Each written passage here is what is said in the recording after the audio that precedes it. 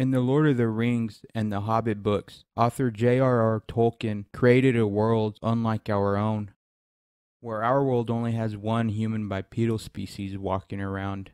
He saw a multitude of different species humans, elves, dwarves, hobbits, trolls, and in fact, too many to mention. The last 20 years or so of fossil and genetic evidence shows us that human ancestors had a much more interesting past than we could have ever imagined. Because we often see ourselves as a dominant species, the story has always gone that we destroyed and eradicated any competition, and this left us in this sterile environment. The recently discovered fossils of Homo floresiensis, Homo luzonensis, and Homo naledi coupled with the genetic evidence of the Denisovans, shows us that our past was much more like Lord of the Rings than present times. And when you throw in the previously known Neanderthals and Homo erectus, one begins to wonder what our Homo sapien ancestors thought of these other species as they inevitably encountered them. Did our human ancestors revere Neanderthal, Homo erectus, or the Denisovans, did they pass down stories of their encounters with these other species? And if they did, is it possible that any trace of these encounters survived into recent or near recent oral histories? On the eastern Indonesian island of Flores live a people known as the Naji. The Naji tell a story about a creature known as the Ebu Gogo. They describe it as a bipedal walker that's capable of running quite fast. The story goes that this creature is about 5 feet tall, hairy, and murmurs in what is presumably its own language. In the Naji language, Ebu means grandparent and Gogo means one who eats anything. At one point in his book, Kalahari, Danish author Jens Bjerre recounts time spent with the Australian Aborigines in the Australian bushland. These Australians tell Jens that the Milky Way is the smoke from the fires lit by the, quote, old people of another race who lived before them. In the same passage, he relates a story that the Naran Bushmen of the central Kalahari tell him. They believe a young girl from an earlier race created the Milky Way by throwing hot ashes into the sky. As one man described, a man of the old race sat by his fire, took off his wet sandals, and asked his daughter to dry them. The daughter laid the sandals too near the fire. The old man saw that one of them was completely burned to ashes, and the other was half burned. The girl took the half burned sandal and flung it up into the air, where its glowing ashes became the stars and the Milky Way. Now, my interest here isn't necessarily in the stories that are being told, but the fact that all these stories are obviously referring to a different species.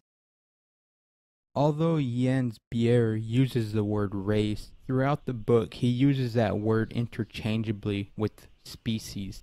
Both the Australian Aborigines and the Kalahari Bushmen make it a point to declare the characters of their stories are a different type of human than they are. Jens Bjerre himself observed, quote, both people appear to accept that the earth was inhabited by an earlier race before the present human race was created. It should also be pointed out that in all three of these stories, not only are the people referring to a different species, but they're referring to an older species. For example, the Naji people refer to these hobbit-like creatures as grandparents, while the Australians refer to their characters as old people, and the Naran Bushmen refer to, quote, a man of the old race. But is it possible that these stories are more than just myth or folk tales and are actually cultural memories of our encounters with extinct human species? How far into the future can oral histories passed from generation to generation retain accurate information? This is a question we'll likely never be able to answer. And as a result, this episode will likely leave everyone with more questions than answers. But this subject is fascinating nonetheless. One thing we can do is scrape together all the available evidence and see where that leaves us. The Naji Ebu Gogo story tells us that the Ebu Gogo was about 5 feet tall, hairy, and swift runners. The fossil evidence of Homo floresiensis tells us that this quote unquote hobbit was about 3 foot 3 inches tall, but the hair distribution of its body is unknown, so we don't know if it was hairy or not. We do know that this species had curved toes, which, according to evolutionary anthropologist Daniel Lieberman, running would have put high amounts of stress and torque on the toes as it ran. This indicates that Homo floresiensis was probably not a natural runner. While the physical evidence and the Naji Ebu Gogo story do not exactly line up, it's still possible that this story is based on a distant cultural memory of previous encounters with this ancient species. We know today that every time an individual accesses a memory, they alter this memory, which over time can cause many details to change when compared to the actual event. So it wouldn't be surprising if some details in oral histories change over time, while others remain accurate. In Africa, the genetic and fossil evidence discovered over the last 20 years lends some plausibility to the Nuran Bushman story. The story itself may be seen as a Milky Way creation story, but the fact that they nonchalantly attribute these events to an ancient human species is not unimaginable. For instance, in Africa, we know Homo erectus or one of its derivatives, such as Homo heidelbergensis, overlapped in time with our species. In fact, a 2011 study by evolutionary biologist Michael Hammer and colleagues found that about 2% of the DNA of modern African populations was acquired from an archaic species that split from Homo sapiens an estimated 700,000 years ago. This date makes Homo heidelbergensis the prime candidate.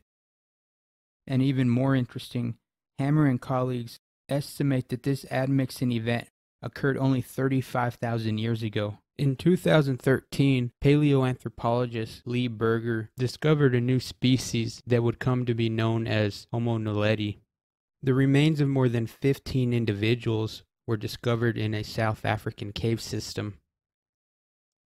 This species stood about 5 feet tall and existed at least between 236,000 years ago and 335,000 years ago.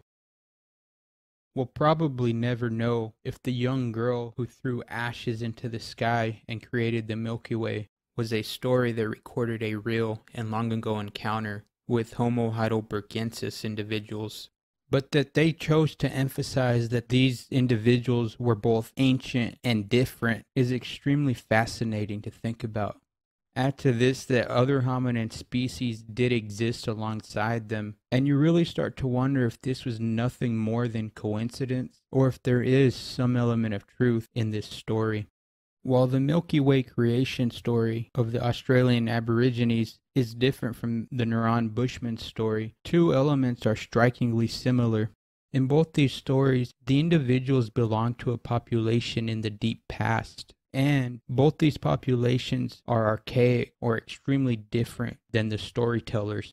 Which ancient population could the Australians be referring to? The strongest evidence indicates that the ancestors of Australian Aborigines left Africa about 70,000 years ago. In order to reach Australia, they would have likely traveled across the modern day Arabian Peninsula, through the Middle East, across Southeast Asia, over the Indonesian island chain, and finally into Australia. This route means they had the potential to encounter a multitude of human species. For example, the last fossil evidence of Homo erectus comes from the Indonesian island of Java only 110,000 years ago. And we know that both the Denisovans and Neanderthals were roaming Eurasia throughout this time. And if we dig further, we'll see that Denisovans made it to much more exotic locations.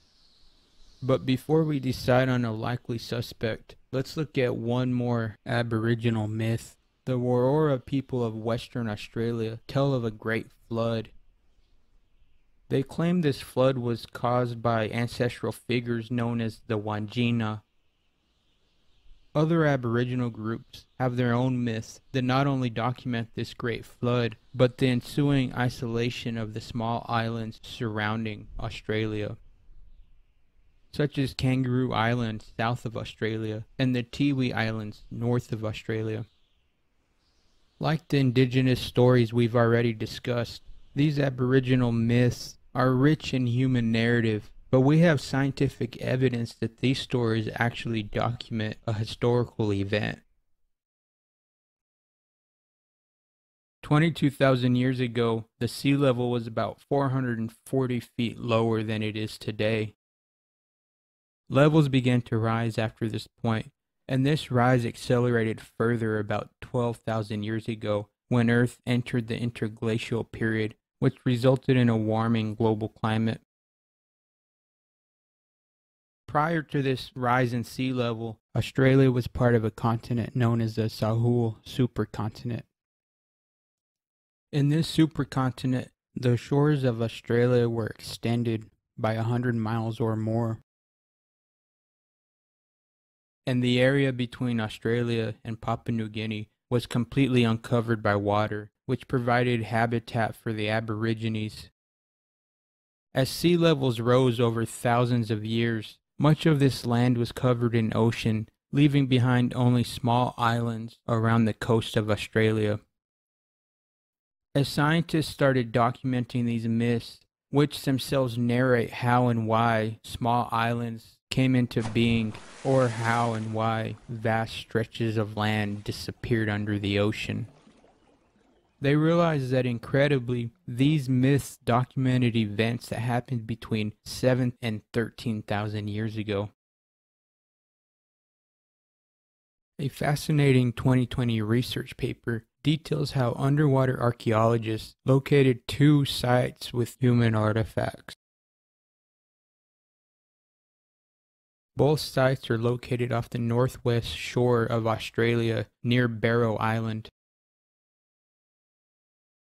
Radiocarbon dating of marine shells in the same layer as the artifacts puts one side at about 7,000 years ago and the other at 8,500 years ago. These discoveries appear to validate Aboriginal myths as oral histories that are able to capture major environmental events. In fact, some of their myths give Aboriginal names to islands that no longer exist due to the continued rising ocean. This case study proves that some myths, maybe all myths, regardless of the particulars of the narrative, document significant historical events. A 2016 genetic study found that the ancestral population of the Aborigines mixed and obtained genetic material from a Denisovan population about 44,000 years ago. This finding is interesting for several reasons. If the Aboriginal myth is accurately depicting an ancient encounter with a different human species, the genetic data hints that the last non Homo sapiens encounter was likely with Denisovans. The Aboriginal stories documenting the breakup of the Sahul supercontinent are at most 15,000 years old. Any stories retaining memories of ancient encounters with Denisovans were likely 30,000 years older, but they could be younger. A 2019 genetic analysis shows that a distinct Denisovan group encountered Papua New Guineans about 30,000 years ago. By 37,000 years ago, Papuans and Australians had already split both reproductively and culturally. Australia and Papua New Guinea didn't become geographically isolated until 14,500 years ago but it shows us that at least a small population of Denisovans survived until about 30,000 years ago. And according to the author of this paper, quite possibly until about 14,500 years ago. So it's possible that Australian Aborigines encountered Denisovans between 30,000 and 14,500 years ago but the only concrete proof we have is the encounter 45,000 years ago, before the Papua New Guinea and Australian populations had split and become isolated. In the end, the question becomes can oral histories passed down from generation to generation retain accurate historical events that happened 14,000, 30,000, 40,000, or even 50,000 years ago? Do the hobbits of Naji mythology represent real and past encounters with Homo floresiensis? When the Narran Bushmen recount the legend of the young girl of another species, flinging embers into the air and creating the Milky Way, are they passing down a memory of contact with Homo heidelbergensis or Homo naledi? When Australian Aborigines speak of their tales, was it the fires of Java Homo erectus, Indonesian hobbits, or more likely, Denisovans that created the fires that formed the Milky Way? Currently, it is impossible to answer any of these questions. This video is simply an exploration of possibilities based on currently available evidence. The continuing advancement in ancient DNA, proteomics, and paleoanthropological technology may one day allow us to answer this question. This is paleoanthropologist Lee Berger. He is the head researcher of the team that discovered and excavated the Homo naledi fossils in the Rising Star Cave system of South Africa. The collection began. We designed technology that had never been used before underground. White light laser scanners that were giving us real time scans on computers like that down to resolutions of 0.3 of a millimeter as we were mapping underground with these scanners. It was amazing. At the very least, more data will allow us to determine whether these myths are more likely or less likely to preserve Pleistocene encounters. Or maybe we'll never know. Either way, pondering such possibilities is significant in its own right. Whether these indigenous stories record specific encounters from the past Genetic and fossil evidence affirms that our ancestors encountered multiple extinct human species. Reflecting on these extraordinary experiences of our long ago ancestors and ancient cousins breathes new life into them, even for a moment, and reminds us that our world wasn't so different from that of Middle Earth. Thanks for watching. If you like this video, don't forget to like and subscribe.